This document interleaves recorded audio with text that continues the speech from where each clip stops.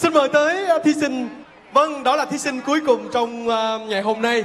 Và kính thưa quý vị, chúng tôi xin được mời tới đại diện giữa ban à, bảo trợ của chương trình để cùng nhau đưa những phần quà đến cho tất cả các thí sinh có mặt ngày hôm nay.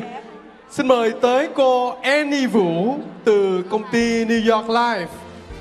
Xin mời tới chị Julie từ công ty Jolivia và các nhà bảo trợ trong chương trình cũng như là cái nhà bảo trợ trong các thí sinh mà quý vị đang thấy sẽ là những phần quà đến từ công ty tiệm vàng Jean và Julie, công ty Đại Phát, công ty Kèm Nghĩa, à, chị, chị Dr. Kimberly và nghị viên của thành phố Kimberly, chị Susan Trần với những phong bao lì xì, chị Olivia, thanh trang áo dài, cô Annie Vũ và tất cả các quý vị ẩn danh. Trong phần trao giải cuối của chương trình, xin mời tất cả các ban giám khảo hãy cùng nhau lên trên khán đài để cùng nhau trao những phần quà cuối cùng trong chương trình ngày hôm nay.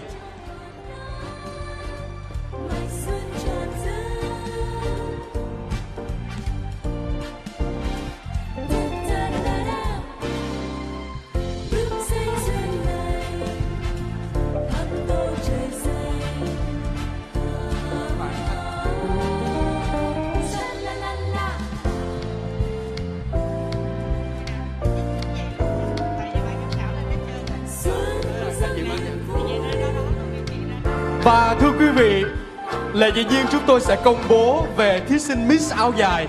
Tất cả các thí sinh không kể là quý vị có nhận được giải quán quân Miss áo dài, Miss Elegant hay không. À, như đây thì đại diện chủ của bên phía giám khảo đó là Hoa hậu Hạnh Lê sẽ cùng chia sẻ về ai sẽ là Miss áo dài ngày hôm nay. Xin mời chị Hạnh Lê. Cảm ơn anh Tuấn và à, trước hết thì Hạnh Lê xin à, thay mặt cho ban giám khảo giám khảo chúc tất cả quý vị có một năm mới thật là an khang thịnh phượng và vạn sự như ý. À, và à, trong à, cũng như cảm ơn tất cả các chị đã có những tà áo dài rất đẹp cũng như các các em à, đã cố gắng đến đây để mà mình luôn luôn à, giữ gìn cái truyền thống văn hóa Việt Nam của chúng ta. Và cho cái rau cuối cùng này thì Hạnh Lê xin được nêu tên à, chị được trúng giải à, đầu tiên. Đó là chị Mỹ Hương Châu mang số 3 dạ, Miss áo dài dạ vâng Thưa quý vị, một lần nữa chị Miss áo dài. Thưa quý vị, đó là chị Mỹ Hương Châu, thí sinh mang số 3. Những tiếng trống bum bum bum. Quý vị thấy không? Một lực lượng đi theo để ủng hộ luôn.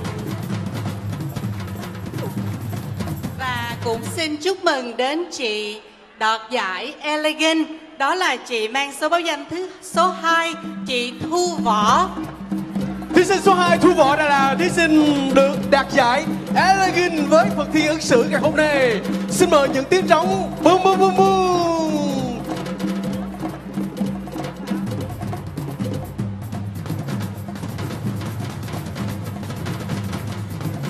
Và thưa quý vị, những tiếng pháo, tiếng trống à, được sự bảo trợ của thanh nhạc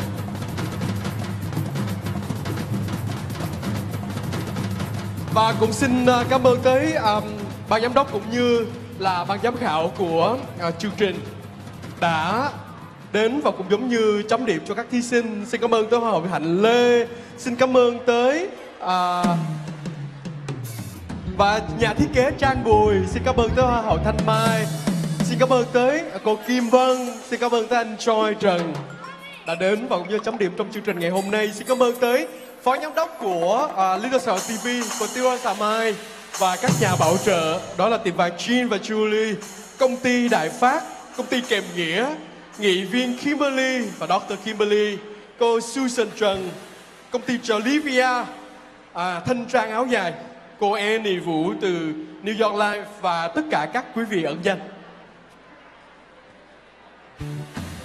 Và như vậy chúng ta đang đi đến tới những phần cuối cùng của chương trình áo dài ngày hôm nay. Cảm ơn quý vị khán thính giả một lần nữa đã đến, đã ủng hộ cũng như tất cả quý vị có mặt trong khán phòng ngày.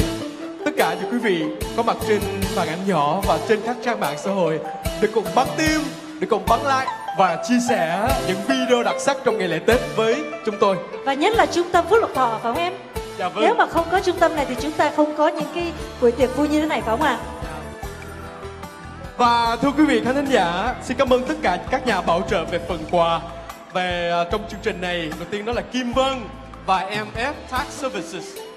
Diễm Bridals thanh trang áo dài Jean Jewelry K&B Đại Phát chị Olivia chị Julie chị Susan Trần Xin cảm ơn tới chợ Tam Biên, à, Kim Kimberly Skinnet, thưa quý vị, công ty kèm nghĩa và tất cả các quý vị ẩn danh. Cũng không quên tới à, công ty New York Life. Và quý vị nhớ nha, 30 Tết chúng ta lại cùng gặp nhau nữa ngay đâu? tại khuôn viên của chùa Hệ Quang. chùa Hệ Quang Nếu quý ngay vị đúng nào- đêm giao thừa nha quý vị là Những quý vị năm nào này ở đó ngay tại Cali đó Dạ. mà cả chục năm trở lại đây cứ ngày Tết là tôi biết được là, là quý vị cùng rủ nhau về chùa Hệ Quang để cùng à, đón giao thừa để cùng tiễn đua năm cũ và đón về năm mới bật bí với quý vị nha vào đêm hôm đó có tới hàng trăm ngàn những cái phong pháo những cái viên pháo Wow. sẽ được nổ tung và có tới hàng chục đó. ngàn người cùng với nhau đến Dạ vâng. Người hết cũng được biết là mùng 2 Tết thì ở ngay phố Bâu Sa của chúng ta đây sẽ có những ờ, buổi diễn hành của các chị.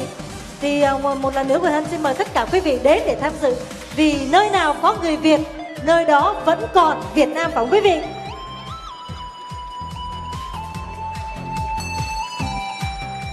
um...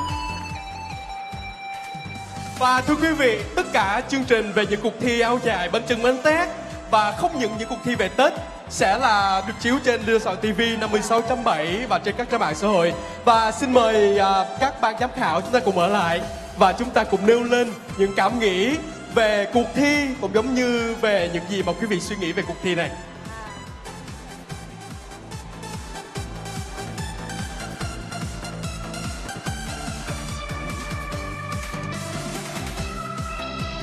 Rồi đầu tiên với Hoa với lại chị Kim Vân Vũ Sư. Kim Vân. Dạ vâng.